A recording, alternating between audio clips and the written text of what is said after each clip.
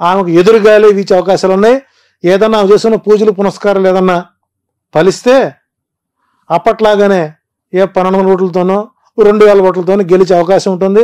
ఇంత చరిష్మాలో కూడా ఆమె గెలవకపోతే ఇంకా ఆమె అంత దురదృష్టంగా మనం లేనచ్చు. నా అంచనా ప్రకారం నగరిలో రోజా ఓటమి ఖాయమైంది. ఇక నలభై రోజులు టైం ఉంది కాబట్టి దానికి సంబంధించినటువంటి కార్యాచరణ చేసుకుని దైవబలాన్ని పెంచుకుంటూ చేసిన తప్పులకి వాగిన వాగుడికి ఆత్మ పరిశీలన చేసుకుంటే గెలిచే అవకాశాలు ఉంటాయి. లేని పక్షంలో వైసీపీ అకౌంట్లో చిత్తూరు జిల్లాలో ఆ సీటు చేరే అవకాశం ఎక్కువగా ఉంది. రైట్ మరొకరు లోకేష్.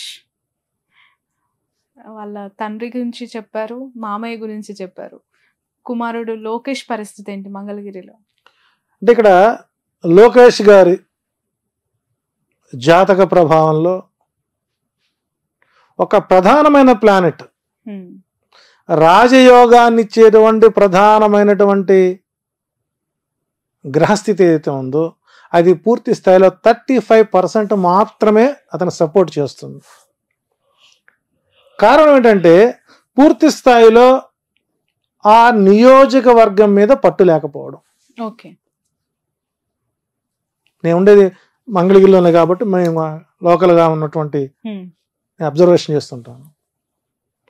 గతంలో ఆళ్ళరామకృష్ణారెడ్డికి అంత స్వీప్లో కూడా మంగళగిరిలో ఓట్ బ్యాంకు ఆయనకి లేకుండా పోయింది.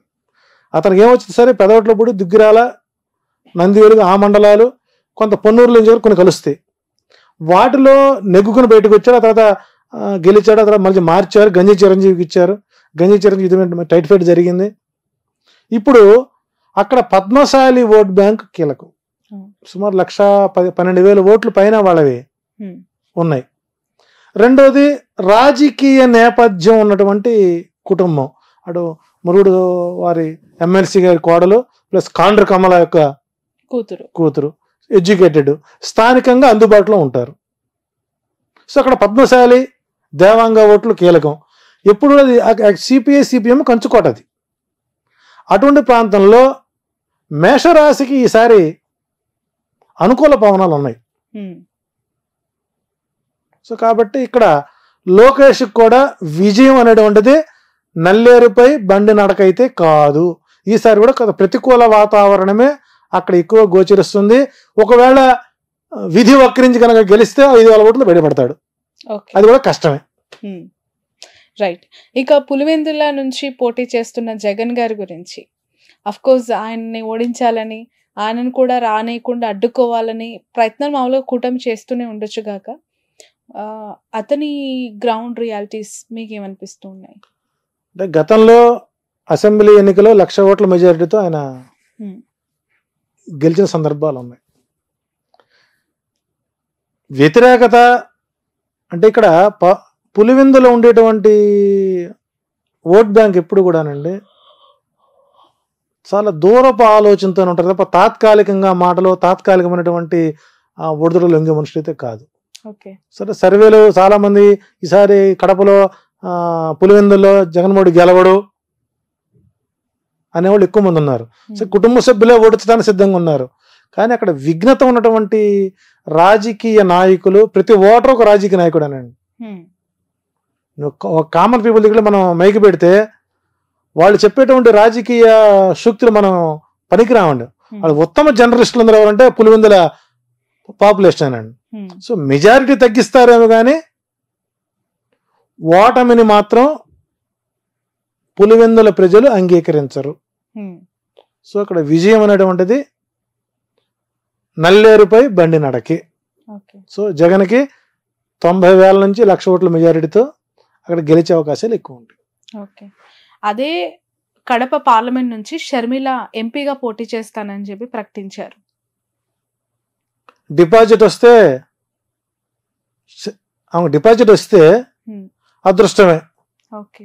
ఒకటి గుర్తుపెట్టుకోండి రాజశేఖర్ రెడ్డి గారి కుటుంబానికి ఉన్నటువంటి పరువు ప్రతిష్టల్ని వైఎస్ శర్మల ఏంటండి?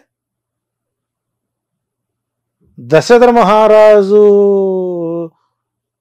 కూటమికి వెళ్ళినటువంటి వశిష్ఠుడు సీతాదేవిని పిలిచి అమ్మా నీ భర్త ఎవరు? అని అడిగాట. ఎవరు అని అడిగితే ఆమె ఏం చెప్పుంటుందండి? రావణుడు అమ్మగుడని చెప్పుకుందా? చెప్పలేదు.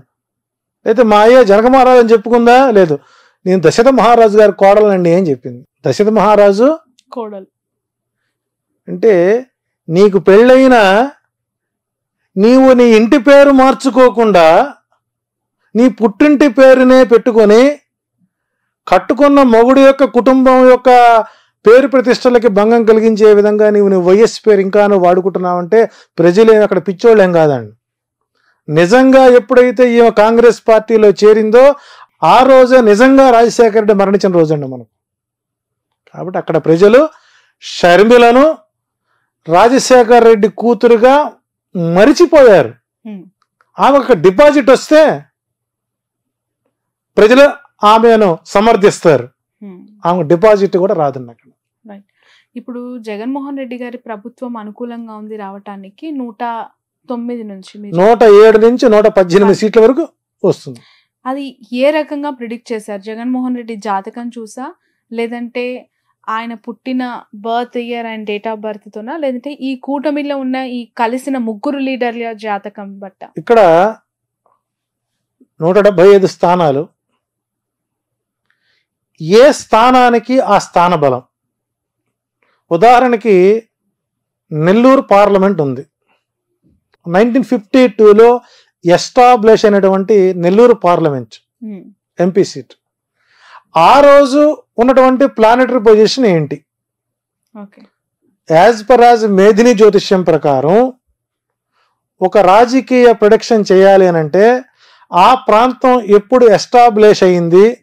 ఆనాటి గ్రహస్థితులేంటి ఆనాటికి ఇప్పుడున్నటువంటి రాజకీయ నాయకుల యొక్క గ్రహస్థితులేంటి పార్టీ ఆవిర్భావం ఏంటి? వ్యక్తిగత జాతకం ఎంతవరకు దోహదపడుతున్నటువంటి నిర్ణయాలు తీసుకున్నట్లయితే రెండు వేల పంతొమ్మిదిలో నూట యాభై ఒక్క సీట్లకి ఆ భూమండలం ఆయనకు యోగించింది. సో ఐదు సంవత్సరాల సమయంలో ఆ గ్రహస్థితిలో అనేక రకాల మార్పులు వచ్చేసరి గురుమూడమే శుక్రమూడమే సూర్య చంద్ర గ్రహణాలు ఎక్కువ ఉన్నాయి.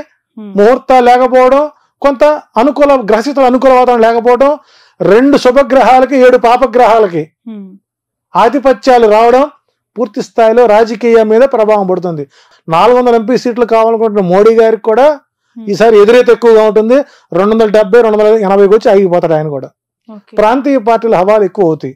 ఉమ్, సో కాబట్టి ఒక నియోజకవర్గంలో విజయ అవకాశాలు నిర్ధారణ చేయాలంటే ప్లస్ ఆ ప్రాంతంలో ఉండేటువంటి రేఖాగణితం మీద లాంగ్ లాచిచ్చూట్ లాచిచ్చూట్ మీద ఆ వ్యక్తి యొక్క అభిప్రాయం ఆ పార్టీ యొక్క బలం ఆ ప్రాంతాన్ని క్రోడీకరించుకున్నప్పుడు మాత్రం చేయం కాబట్టి ఉమ్, రూరల్ ప్రాంతాలు ఏవైతే సముద్ర తీర ప్రాంతాలు ఉన్నటువంటి తొమ్మిది వందల కిలోమీటర్లు ఏవైతే ఉన్నాయో రేడియేషన్ అవుతుందో సముద్ర మట్టానికి నూట ఎనభై అడుగులు ఎత్తున్నటువంటి ప్రాంతాలు ఏవైతే ఉన్నాయో ఇవన్నీ కూడా జగన్మోహన్ రెడ్డికి మేజర్ ప్లస్గా మారుతున్నాయి కాబట్టి విజయం పార్టీ విజయానికి అవకాశాలు ఎక్కువగా ఉన్నాయి.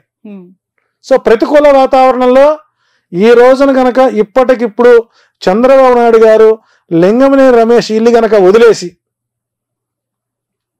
అప్పట్లోనే బస్సులోనే పడుకున్నాను బాత్రూంలో పడుకున్నాను అని చెప్పుకున్నాడు కదా. అట్టాగే పడుకుంటూ ఆయన పార్టీ ఆఫీసులో కానీ లింగమనేని ఆ ఆక్రమిత స్థలంలో కానీ బీ ఫారం ఇస్తే ఓటమి పాలయ్యే వాళ్ళు వంద నూట పన్నెండు మంది ఉంటారండి. ఓకే. ఈ బ- బీ ఫారం ఇచ్చే వరకు వీళ్ళు ఉంటారని నమ్మకం లేదు కొత్త వాళ్ళు వస్తారు రాకపోరని నమ్మకం లేదు.